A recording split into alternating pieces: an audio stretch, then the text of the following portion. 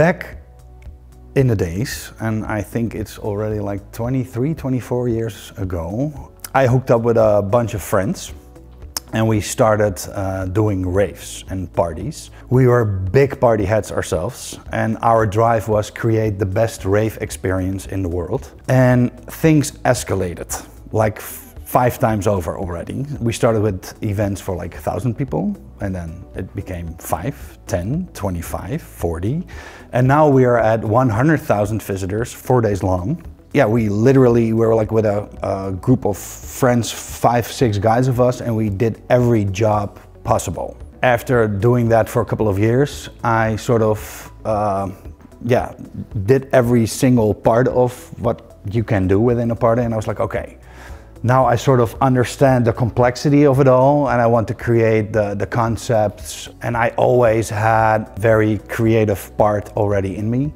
My fascination with uh, Cirque du Soleil and like the Olympic openings and all sorts of stuff, I was always really like, ooh, I want to bring that to our events. And first everybody was like, yeah, pff, that's way too crazy. And then we sort of slowly started and well, after a while we really created our own way and then in 2007, 8, 9, every year we got better and deeper. And then suddenly we realized, yeah, um, all, all, five of us, the original founders, all had some sort of uh, fixation. And I was always more into the creative and the more into the stage design of experience design or uh, creating the shows.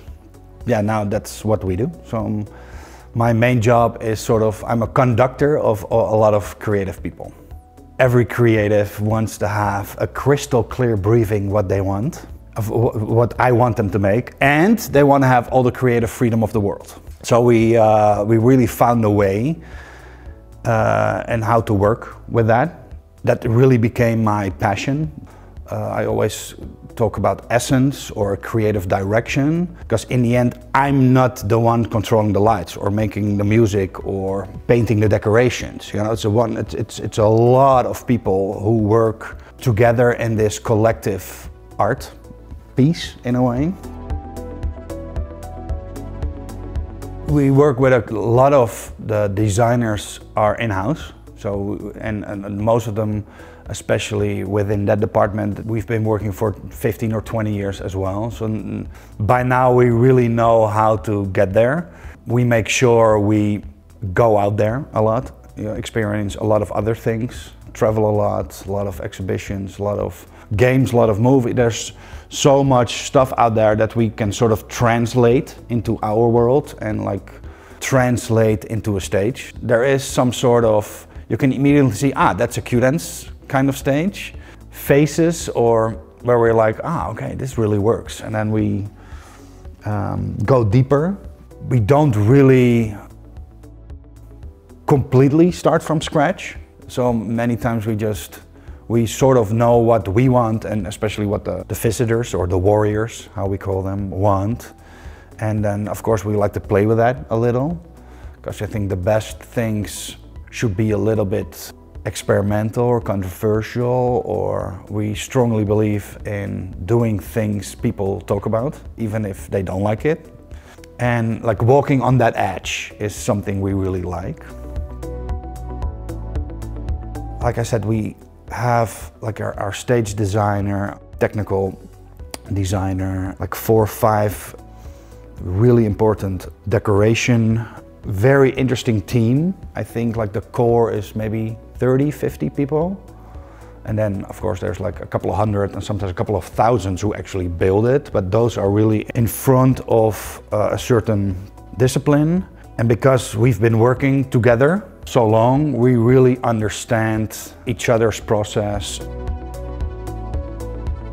And I strongly believe in a lot of brainstorming, a lot of heavy discussions. Sharing is caring. So sometimes only, sometimes somebody would only have like a, a sketch and he's like, no, no, no, let me finish it. I'm like, no, no, no, no, we're gonna show the rest. And like, no, it's not finished. Yeah, they'll understand, but you, then they'll already see what you're doing or what kind of style or direction you're going. In that sense, I'm sort of a connector making sure that everybody's still aware of what everybody's doing.